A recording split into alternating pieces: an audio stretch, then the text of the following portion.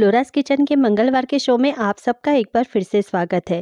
Friends जैसे कि मैंने आपके साथ आगे की वीडियो में शेयर किया था कि मैं यूनिक तरीका एक मुखवास आपके साथ शेयर करूँगी तो मैं आज वो गुटली का मुखवास शेयर कर रही हूँ आपके साथ। तो वीडियो को एंड तक ज़रूर देखिएगा। ये गुटली का मुखवास है ना, बहुत यूनिक तरीके से बनाया जाता है तो आपको ये वीडियो पूरा देखना पड़ेगा फॉलो करके बनाएँगे तो आपका भी इतना बढ़िया और क्रिस्पी गुटली का मुखवास बन जाएगा।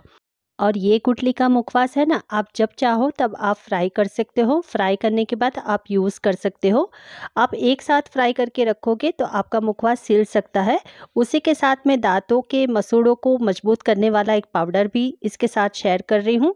तो वीडियो को एंड तक ज़रूर देखिएगा। आपको बहुत ही पसंद आने वाला है। तो सबसे पहले मैंने गुटली है, उसको तीन दिन पानी में जैसे वॉश किया था, वैसे वॉश करके रख दिया था। तीन दिन के बाद ये सारी गुटली है, आप इस तरह से कट कर सकते हो। तो इसको छोटे छोटे टुकड़ों में कट करनी है। तो इस तरह से मैं कट करके आपको दिखा रही हूँ, आप चाहो तो ऐसे भी कर सकते हो, आप चाहो तो चॉपर का यूज़ भी कर सकते हो, इस तरह से आप चॉप भी कर सकते हो, ताकि आपका काम है, वो आसान हो जाए। इसलिए मैं आपके साथ दोनों तरीका शेयर कर रही हूँ। आप चाहो तो इसको कद्दूकस भी कर सकते हैं, जैसे आगे के वीडियो में मैंने किया था कद्दूकस, वैसे भी कर सकते हैं। पर यह तरीका बेहतर है कि आप छोटे छोटे चॉप करके रख दें, क्योंकि आसानी से दो दिन में ये गुटली सूख जाएगी। तो ये सारी गुटली हमारी रेडी हो चुकी है, मैंने चॉप कर लिया है, फाइन चॉप करके इसको निकाल दूँगी एक प्लेट में। एक प्लेट में निकालने के बाद ये सब रेडी हो जाएगी। तो बाकी की गुटली भी इस तरह से मैंने कट कर ली है। आप देख सकते हैं, बहुत छोटे छोटे पीस में मैंने कट कर ली है। अब आगे की प्रोसेस भी मैं आपके साथ शेयर कर रही हूँ। तो यहाँ पर मैंने प्लास्टिक बिछा दिया और सारी गुटली अलग कर दी है ताकि वो अच्छे से सूख जाए। दो दिन के बाद मेरी गुटली है, अच्छी तरह से सूख चुकी है, काफ़ी क्रंच आ गया है इसमें और इसका कलर भी चेंज हो गया है। अब सारी गुटली को हम मिक्सी बाउल में डालेंगे। थोड़ी थोड़ी पोर्शन में डालेंगे ताकि पीसने में आसानी रहे। तो ये थोड़े थोड़े पोर्शन में मैंने पीस ली है और इसका फाइन पाउडर बना दिया है। तो यहाँ पर मेरा सारा फाइन पाउडर रेडी हो चुका है।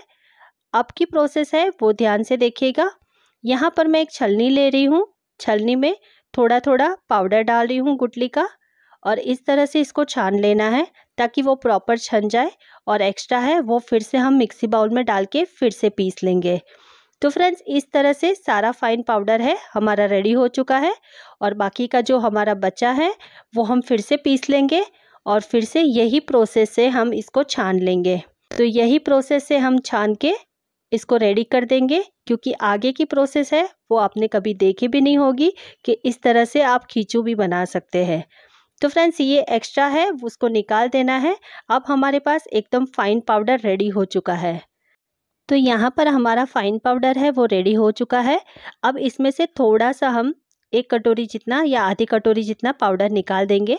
उसका यूज़ भी मैं आपको दिखाऊँगी कि मैंने इसको किस तरह से यूज़ किया है। ये बहुत ही आपको फ़ायदा करने वाला है, जो मैंने अलग कटोरी में निकाला है। तो फ्रेंड्स यहाँ पर मैंने एक भगोना लिया है और उसके अंदर मैं तीन से साढ़े तीन गिलास जितना पानी ऐड करूँगी और इसको उबालने रखूँगी गैस के ऊपर। इसका ढक्कन हम ढक देंगे ताकि आसानी से उबल जाए। तो यहाँ पर हम खींचू बनाने के लिए जो सोडा खार यूज़ करते हैं, वो वाला करना है दो चम्मच। और उसी के साथ हम स्वाद अनुसार नमक भी डाल देंगे, एक से डेढ़ चम्मच जितना तो यहाँ पर हमारा पानी खोल गया है। जो हमने सोडा खार रखा था और नमक रखा था, वो दोनों ऐड कर देंगे क्योंकि पानी हमारा अच्छी तरह से उबाल आ चुका है। तो फ्रेंड्स, इसको इस तरह से बेलन की सहायता से आप चलाएँ तो आपको आसानी रहेगी।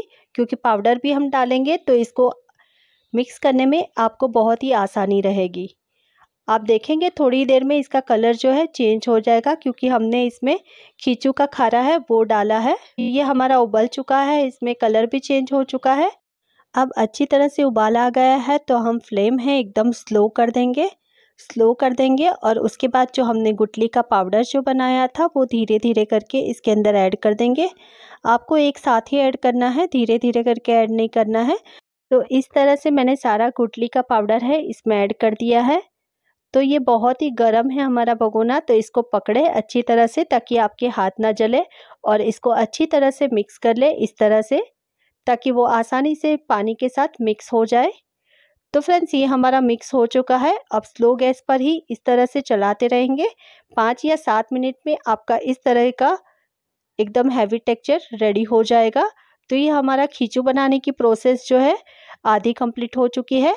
अब हम क्या करेंगे? जाली वाला एक कटोरा लिया है मैंने। इस तरह से आपको तेल लगा देना है ताकि खींचू आसानी से हम निकाल भी पाए और चिपके भी नहीं। तो यह ना, पकने के बाद बहुत चिपचिपा सा हो जाता है।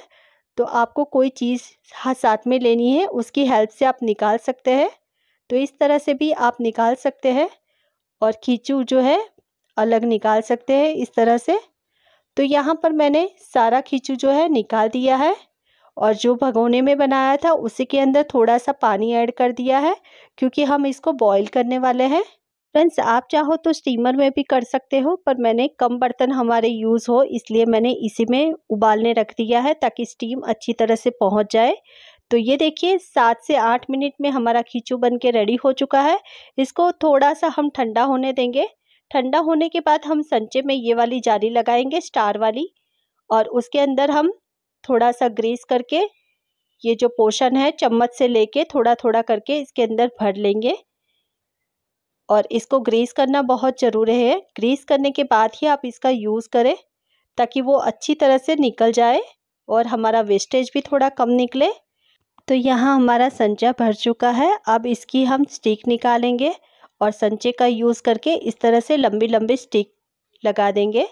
तो फ्रेंड्स नीचे मैंने प्लास्टिक बिछाया है। प्लास्टिक के ऊपर ऐसी लंबी लंबी स्टिक हम कर देंगे ताकि वो आसानी से सूख जाए। आप पूरी रात इसको पंखे के नीचे भी रख सकते हो और सुबह आप धूप लगा सकते हो दो घंटे में। दो घंटे में अच्छी तरह से ये सूख जाती है। तो फ्रेंड्स, ये हमारी रेडी हो चुकी है। सारी स्टिक हमने रेडी कर दी है। ये है ना दो तीन घंटे में आसानी से सूख जाती है। तो जैसे ही थोड़ी सूख जाए, तुरंत ही आप इसका कट लगा दें। वो कैसे लगाना है, वो भी देख लीजिए।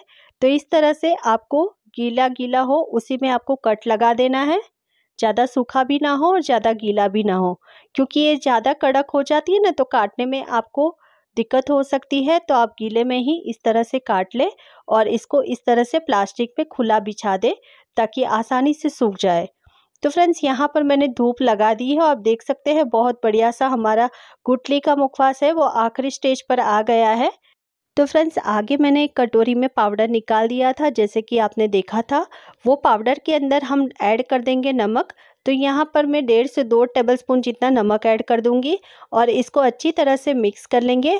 तो फ्रेंड्स, इसका भी बहुत फ़ायदा है। ये इसका हम दंत मंजन बनाएँगे।